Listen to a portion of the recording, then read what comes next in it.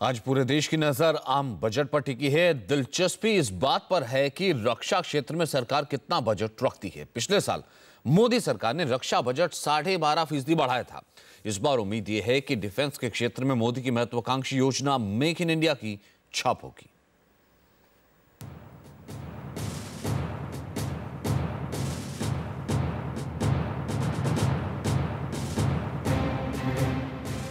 देश के आम बजट में वित्त मंत्री अरुण जेटली के पिटारे से क्या निकलेगा? ये तो आज साफ़ हो जाएगा। लेकिन एक सेक्टर उनसे सबसे ज़्यादा उम्मीदें लगाए हुए है, और वो है डिफेंस सेक्टर।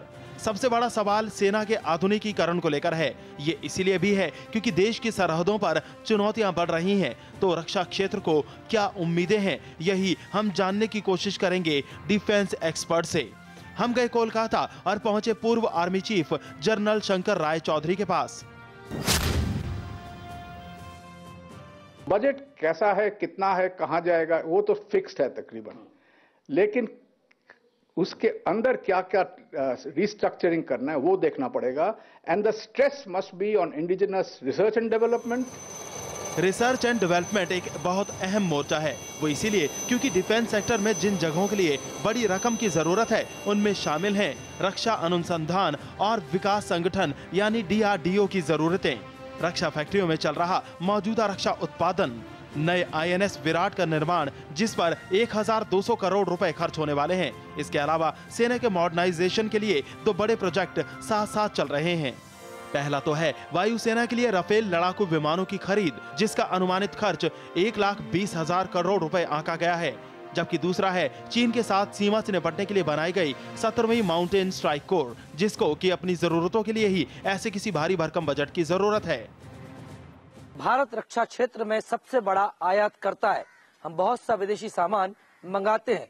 हालाँकि नरेंद्र मोदी इस बात पर ज़ोर देते रहे हैं कि देश में ही सामान तैयार हो। पिछले दिनों बेंगलोर में प्रधानमंत्री ने कहा कि हमें रक्षा उत्पादन के मामले में आत्मनिर्भर होना होगा। पीएम ने आयात पर 20 से 25 फ़ीसदी की कटौती करने का लक्ष्य भी तय किया। Percentage of domestic procurement from 40 percent to 70 percent in the we would double the output in our defence industry make in India से एक फ़र्क तो पड़ रहा है।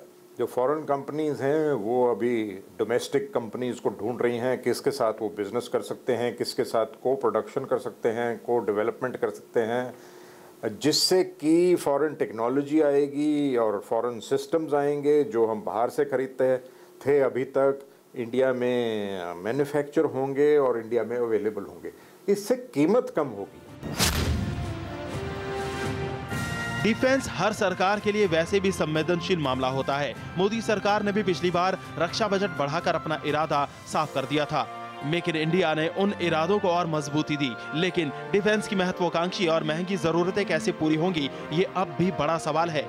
उम्मीद की जानी चाहिए कि इसका उत्तर आज आने वाले आम बजट में मिल जाएगा।